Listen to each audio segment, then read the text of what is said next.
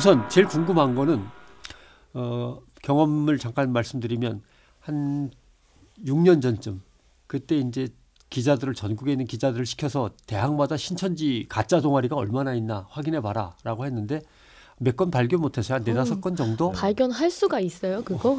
그때 정말 어려웠어요. 음. 네, 도와주는 사람도 없었고 음. 기자들이 여기저기 쑤시고 다녔는데 최근에 보니까 공주대학에만 막 일곱 개, 여덟 개 막 이렇게 얘기가 나오더라고요. 아, 그건- 실제로 그건? 지난 지난 얘기죠. 이것도 지난 통계예요? 예. 아, 그거는. 한참 전 얘기고 예. 어, 지금 같은 경우는 뭐 공주대도 보면 2011년부터 음.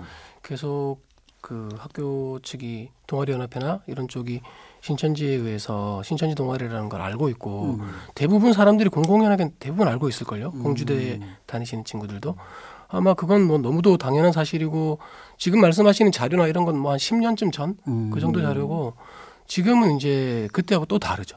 또 지금. 같은 요즘에는 사람들이 그 대학생 친구들이 모임이 거의 없거든요. 어. 그리고 동아리가 거의 안 돼요. 네. 또 학생회 활동도 거의 안 돼요.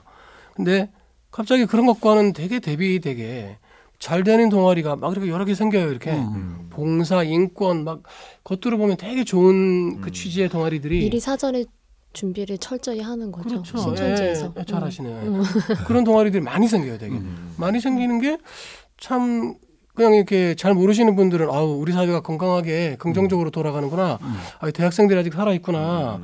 그렇게 말씀하시지만 그거는 대학이라는 지금 공간이 돌아가는 이 10년, 20년의 분위기를 아시는 분이라면 되게 이상한 일이거든요. 아. 근데 그런 것들이 정말 우후죽순으로 되게 많이 생겼죠. 요 몇 년 사이에. 실제로 2012년도가 신천지 아마 대학생 선교 선 그 원년회 해였죠. 음. 그래서 2012년도에 선포를 했죠. 어. 그래서 대학생 선교 원년회 해 선포를 하게 되면 어쨌든 그쪽에서의 전략 전술이 훨씬 더 강화될 거 아닙니까? 음. 아마 그때를 기점으로 이렇게 신천지가 점점점 대학이란 공간을 본격적으로 그렇죠. 예. 하고 들어왔던 것 같아요. 아, 그래서 우리를 그렇게 힘들게 이제. 굴렸구나.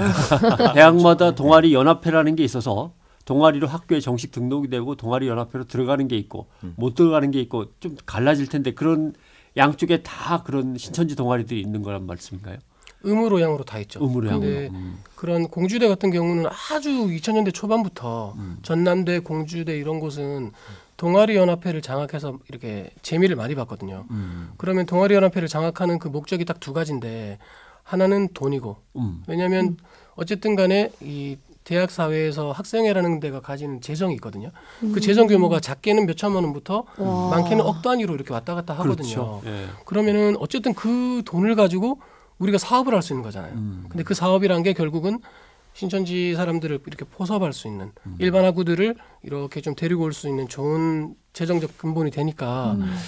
하나는 재정 사업 분야에서 또 하나는 포교적인 전략에서 그 동연이나 뭐 학생회를 잡는 건 아주 좋은 전략이죠. 음. 정황이 아니라 사, 그리고 팩트네 팩트. 학생들이 그치, 팩트, 그리고 팩트. 관심이 없어요. 지금도 잠잠해요. 근데 진짜 그거를 이용해서 파고들기도 해요. 왜냐하면 사람들이 생각보다 무관심하다는 거 아니까.